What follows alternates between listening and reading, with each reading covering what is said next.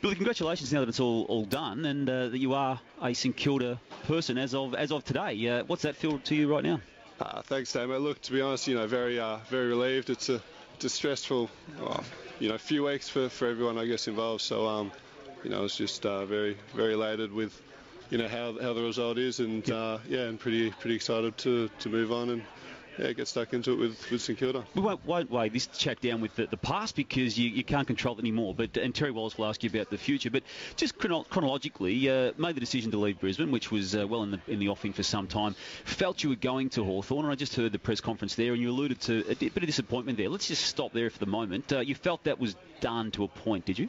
Um, to, yeah, to be honest, I mean, you know, I thought that you know I, I had a good chat with uh, with Hawthorn, and you know, I, I thought that that was the way that you know things would pan out. But you know, as, as it turns, um, you know, created another opportunity to St Kilda, and uh, I couldn't be more happy. Yeah. Is the home factor important to you? I mean, uh, I was just sort of saying before you come on air, I've had a pretty uh, decent association with the Northern Knights all over the years, and uh, uh, obviously you come through that uh, that system. Um, was the, the drag to come back to home and family and everything else important, or was it just more football opportunity for you? Uh, look, to be honest, it was, it was a bit of both. I mean, um, you know, home was definitely a, a catalyst in it, um, but you know, I, I, definitely wouldn't have wanted to, to come down to um, Melbourne if it would have, you know, hindered my, uh, I guess, development as a, as a ruckman, as, you know, a footballer. So, um, you know, it's, yeah, it was just, I guess, sort of weighing up the options and, uh, you know, having a, having a talk to, to Scotty and the, the guys at St Kilda. I was just, uh, you know, very excited at, you know, the prospect and, um, you know, where they're heading. So,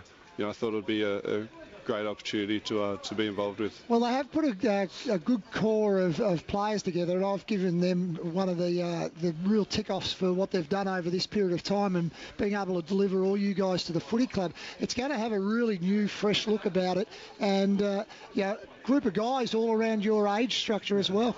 Yeah, no, look, it's it very uh, very exciting for me. I think you know it's it's a developing club, and you know there will be a lot of young players, but I think you know me being a developing ruckman, I think it's just a, a, great a great place to, to start my well to continue my football and uh, to progress to progress with in the, for the coming years. What did Scotty say to you about your, your role and your, your position in the footy club? Did he sort of get into much depth about any of that? Um, look, to be honest, you know, we, we sort of touched on, um, you know, eventually being that uh, that first ruck whenever whenever the day is. But you know, I, I know it's you know we want to we want to make a role you know between me and and Hickey as well to to, to share that load and um, you know and he's, and he's got a few strategies in, in, place to, to be able to enable that you know with the two rucks.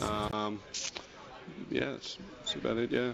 All you can address is is uh, your own individual circumstances, and that you had your reasons, and you addressed it really well in the press conference there as to why you left. But as a collective, when five high draft picks want to leave the One Footy Club, it uh, it presents a, a, message to the outside world that all is not well. Just if you can, just yeah. repeat and, and go over again why it is that you're leaving.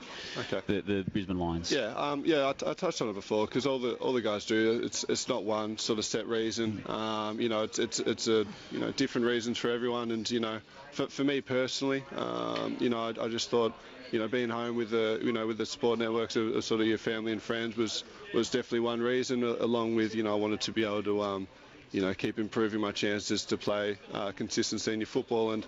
You know, I thought that just in the in the way that the Lions were with with Leuenberger in such great form, you know, it sort of really made it hard to, to be able to um, you know contest that number one ruck position, and um, and yeah, that's that's just off the back of that. Uh, I found it amazing that they picked you up. I mean, I thought you were absolutely went in the draft around the the uh, time that you should have gone, yep. but I just found it amazing that they were the club to pick you up with Leuenberger there already and established, and they, they had picked him as an, uh, you know, a top end first round pick. Were you surprised at the time that it was Brisbane? Um, to be honest, I, am not really sure what, what, my like. You know, I was just excited to, yeah. to be picked up by a team, so yeah. I can't really comment that far. But um, you know, I, the way I saw it, you know, I was really hopeful that it would be like a you know a dual ruck role, but you know, it's just and, and you know, there's no sort of hard feelings either way. Because, um, but you know, it just sort of um, the way Brisbane was, they needed just the one rock, uh, one ruck role for those two years. So it's it was hard to, to fit in. Yeah. St Kilda has lost a, a great uh, during this period with Nick Dal Santo exiting, but there's still a couple there. And the captain Nick Riewoldt, has he uh, made contact with you at the, any stage of the past 48 hours? Uh, not not yet, um, but you know my phone's open if he if he wants to. But um, no, it's it's no, it's all good. I'm, I mean, I'm just yeah, I'm really excited. You know, there's a lot of young boys in there. A few that I you know played at, at the Northern Knights with, you know, yep. Jack Newnes, and so yep. it's you know just pretty exciting to, to be amongst it and to, to get started, I suppose. And when do you start officially? Uh, I think it's in the sixth, so you know, not too long. Yeah, yeah, not too long at all. Yeah. We can tell that you're excited and, uh, and well done. I mean, obviously yeah, the, the, the, disappointment uh, initially uh, by way of Hawthorn not uh, being able to get you there, but uh, it's it's tempered certainly, and I'd say it doesn't matter now because you're going to be a, an AFL footballer for St Kilda and, and, and probably first ruck, I'd imagine, Thanks. round one next year. And welcome to AFL footy because that's what the mm. trade period's about. You never know where it's going to go. Thanks, guys. Thanks, Billy. Billy Longer there. Terry coming to join us in the trade radio booth here at Eddie Etihad Stadium and. Uh,